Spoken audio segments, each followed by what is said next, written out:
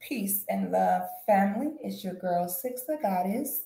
And keep in mind, I'm a goddess and I'm sensitive about my shift.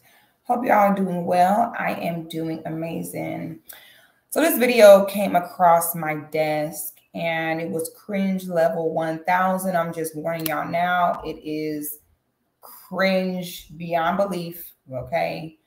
And I want us to break it down because, you know, we're not going, we're going to look at the bigger picture here.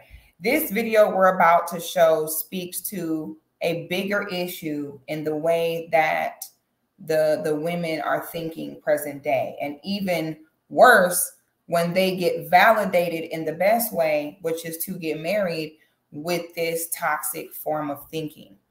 So i'm not going to really explain too much. All i'm going to say is that this video is going to be about a woman talking to her husband about buying a home. Now, what's wrong with that? You know, what's wrong with that? There's nothing wrong with that. Let me premise this before we start this video. Okay. Um, I am 100% on board with the man being the provider, the man being a protector 100%.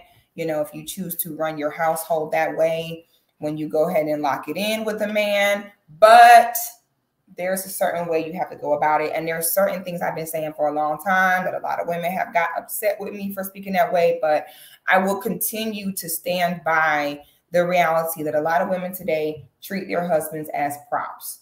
I have seen married women on the internet look their husband in their face and not refer to him as my husband or his name, but literally refer to him as a provider. And it's very difficult to combat this when the men are sitting there looking stupid, allowing it. So I'm not going to talk too much more. Let me go ahead and put this up here. Let me put this like this and just watch. Get ready for cringe. Now, kids, those are some good push gifts. We can, you know. Oh wait, Shaquille, let's save to work. Yeah. Marriage. You have to get us a house. You have to buy us a house. Okay. I will have to buy it. Mm-hmm. So could- it was at this moment he knew he okay. And you know, it's so crazy because this woman has the look of the quote unquote safe route, you know, the woman that dressed classy, you know, probably college educated. This is the the type of woman that men swear like this is the formula, this is the key. Like once she has that, I know that she's eligible. And then they realize, you know, I don't know at what point are men going to learn to kind of assess a woman on a case by case basis because so many men think they have a formula. You know, she dressed like this or she got this tattoo or she did that and, and be thinking that they got the woman figured out based upon that. And I try to tell men all the time, it be the ones you least expect that purposely present themselves as oh no, you don't got to worry about me. They do that on purpose to deflect from their real evil and manipulative ways. So at this moment is when he knew. He knew he messed up at this moment. Okay. Say my husband bought me a house. So you don't want to have no parts in helping me buy the house? I mean, I'll be on the deed. How does that work? Oh, it works every day in marriages. You've been married before? In other people's marriages I know about. Oh. Their husband bought them a house, a car. Look at her smirking. My thing, my first question to this is did Buddy, like, Buddy, how, how did you end up marrying this woman? Like, why? This is what I mean by people divorce because they don't have very important conversations before getting married. Y'all just run down the aisle treat marriage as though it's something you go to the store and pick up. Like, where is the marriage? I have a marriage. Like it's like it's an item. and it's like, what are y'all not understanding? You are agreeing to be with this person for the rest of your life until you die, no matter what.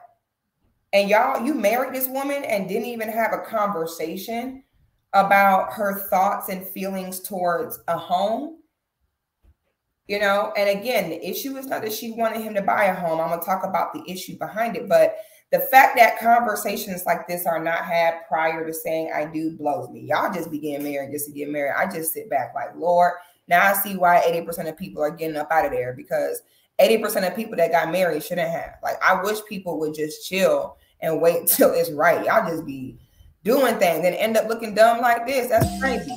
I mean, especially if I'm pushing out kids, those are some good push gifts. Can you know?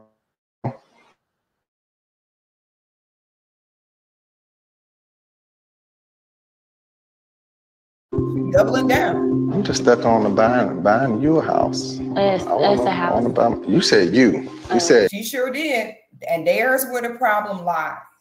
Okay, she 100% looked that grown man in her eyes and said, "Buy me a house, buddy, sir." She don't look at you as a man. She don't look at you as a husband. You are a provider.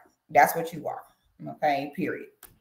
Okay. You messed up you know, I don't know that this is so embarrassing. Like, I wouldn't even want to put this on the internet. Like, this is embarrassing. Like, you looking kind of crazy out here. She 100% said, buy me a house. That's crazy. So she's like, yeah, give me the money. Let me go buy the house and you throw you in a closet in a cellar somewhere. Don't, oh, him, that's just my provider. Don't worry about him. Anyway, welcome to my house. Like, this is what these women are doing. Y'all falling for it because they have the social status or the look that you think you got it figured out. When will they learn? They buy my wife a house. Yeah. This is this is this is who I am.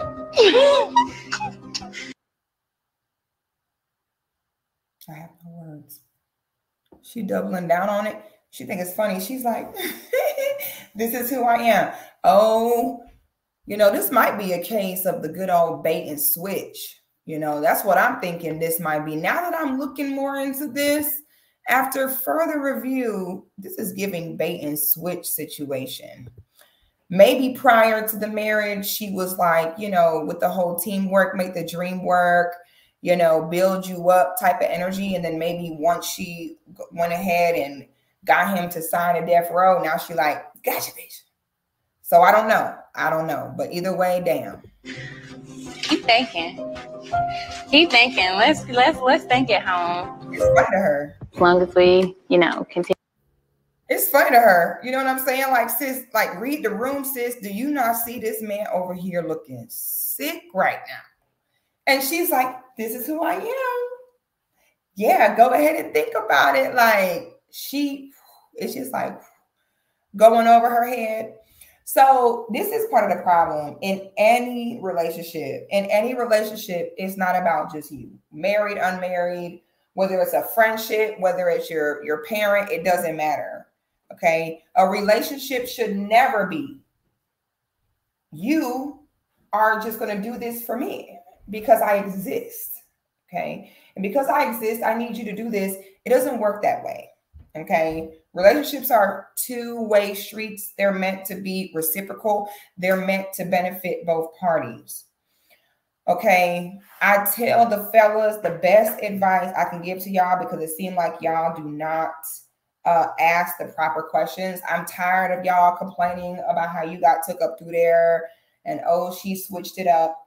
And the truth is, y'all don't be asking the stuff that's really important to ask. That's how you're ending up in situations like this. Uh, the first problem is a lot of men nowadays feel as though they can't learn anything about women from women, which is actually crazy to me because I don't care who a man is.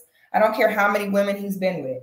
I don't care how much he swears he understands the way women think. You're not a woman. Okay. When I'm looking for advice from a man, I'm when I'm looking for advice about men, I'm going to go to a man because I know that no matter how much I may understand them, I don't have his brain. I don't think the way he thinks. But the key is going to someone of the opposite sex that doesn't have a dog in the fight, unbiased, where a man who will give me good advice, like I'm not going to give the advice in order to appease me. I'm just to tell you the truth. Men got to do the same thing because half of the times it should have been y'all mama, but a lot of y'all mama didn't even have no game. So now you listening to the podcast and listening to men that bought their women about the game on women. That's why y'all getting took up through there. The number one question you have to ask women before you walk them down that aisle are questions like, do you think that not being happy is a reason to divorce because this woman right here, I'm telling you right now, if she does not get this house and what she wants out the marriage, since she has made this marriage singular, buy me a house. You know, her response was not, you know, um, I would like for you to begin to purchase a home for our family because I'm excited to have your children. I'm excited to give a, a nurturing, healthy home for our family. That's totally different. Saying, oh, baby, you know what?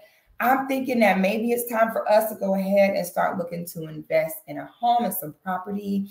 I'm ready to expand our family. I love you. I'm excited about this journey. That's the kind of attitude you have to look for. But that whole buy me a house because I want to be able to say that my husband bought me a house. This is what I see. Okay. I work with hundreds of women one on one, and this is what I see consistently is they take the united value out of the marriage and reduce it down to what this man can do to benefit me, what this man can do to advance me. Then they wait until they already make the man sign a death row, wait until he already is waist deep in the game, and then they're gone. And then the other side of this is on his behalf too. Is he saying things like, So you don't want to help me buy the house? Now, a lot of women got upset with me when I said, listen, the truth is, if you are not a reward woman, which is a type of woman where your looks are at a way where once that man steps out with you, once he's seen with you, you up his social status because other men will look at him like, okay, so for him to have her on his arm, clearly this ain't no bum. That helps men get into better circles, helps them advance. I try to be realistic and give women realistic advice. Like the truth is, Shawty, if you don't have that, you probably will have to contribute in some way, especially in the way today's economy is. Like those days of meet a man, buy me a house and a car and a Chanel bag, maybe it's not happening. Majority of people are fighting for their life. Everything is costing 10 times more. And it doesn't look like it's going to get better anytime soon, to be honest. This looks like it's going to get worse and worse. So if women are sitting around waiting on the average guy to come buying a house and a car, I mean, baby, it's just probably it's just not going to go down that way. Uh, me personally, I don't see anything wrong with the wife helping with the down payment on a home. Um, I think it gets muddy when you talk about her going half on bills in the home. But as far as something major like a down payment and you want your name on the deed as well, I don't see anything wrong with it. I don't think that's healthy to tell women, no, he needs to purchase the whole thing on his own. Like if he can, great. If the woman is able to contribute, that probably is going to be best. And that's just being realistic for 2023. Okay.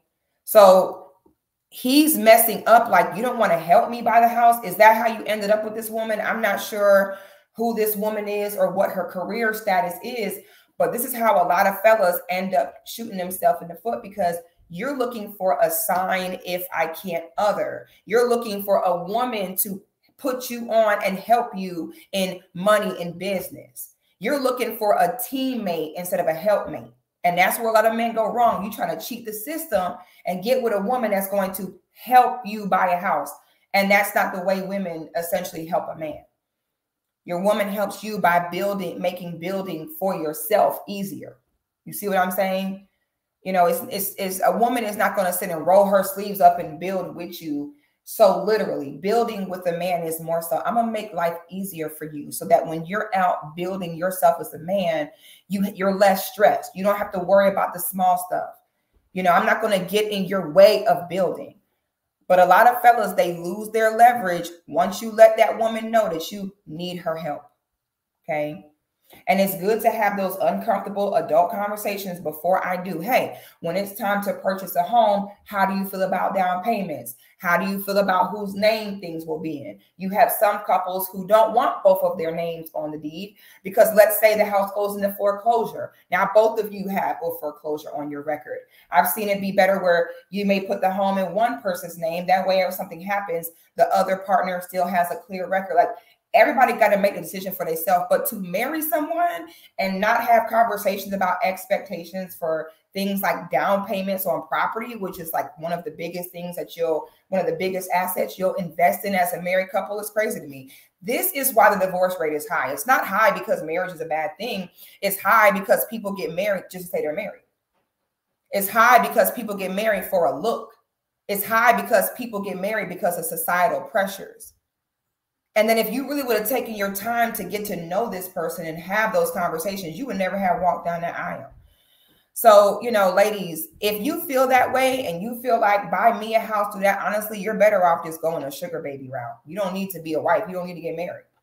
You know, we're not at that place where women need to get married to survive anymore. So if you have a single mindset, if you have an individualistic mindset of, I just want a man to buy this for me and do this for me, go get a sugar daddy. You know, stop treating your husbands like sugar daddies. Okay. You messing the game up. This why y'all got these men scared to death right now to say I do, honey. And I don't blame them because when I see stuff like that, I'm like, ooh. And at the same time, fellas, y'all got to be more careful and you got to be more safe out there. It's not what you do, it's how you do it, ladies. And you get more bees with honey than vinegar.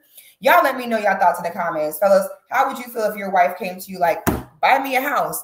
Ladies, do you see anything wrong with what she said? Do you think she's within her rights to say that? Y'all let me know what you think. Like the video, subscribe to the channel, and now a word from our sponsor. So we are here in Lawrenceville, Georgia, and there is a new salon in town that I've gotten word is black owned, honey. So we're about to go check it out and see what services get done today.